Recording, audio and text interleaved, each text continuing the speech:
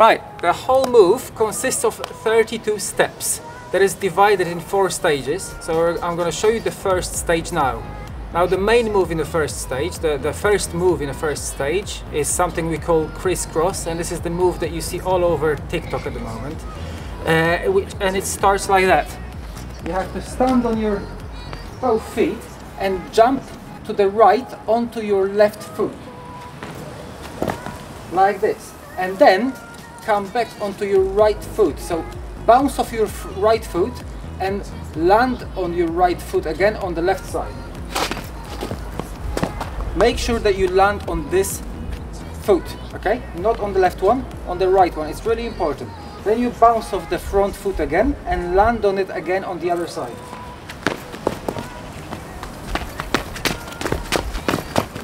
The next uh, four moves, 5, 6, 7 and 8 are quite similar to the first four moves.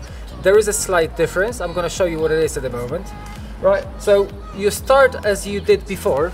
So you jump onto your front foot and then jump again onto the same foot, onto the other side. But the difference now is that you lift your rear leg, the knee up, jump onto your front foot and then come back onto the same foot again like that so it's basically like that. And then onto the next move you jump onto your front foot and jump onto the other side. And knee up and knee down. Okay I will show you now in few different uh, speeds how to do the whole stage one. And I encourage you to follow along as many times as you can until you can actually hear the beat and do it correctly to the beat. We'll do it in five or six different speeds uh, so you can practice and follow along. Alright, we start with 80 beats per minute. It's quite slow. Okay, boys, it will be 80, it will be slow, so make sure you follow to 80 beats per minute. Five, six, seven, eight.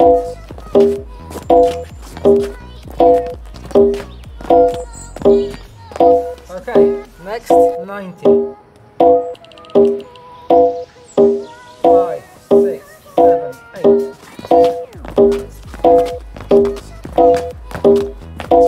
Okay, excellent. Next 100.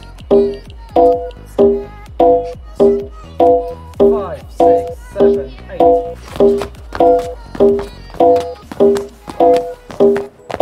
Brilliant. 110 guys, it's getting faster. Five, six,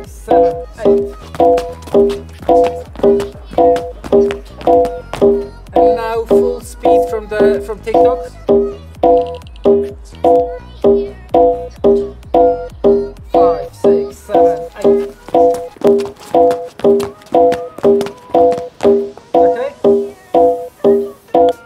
So hopefully you understand the move by now. If you have any questions, ask them in the comments.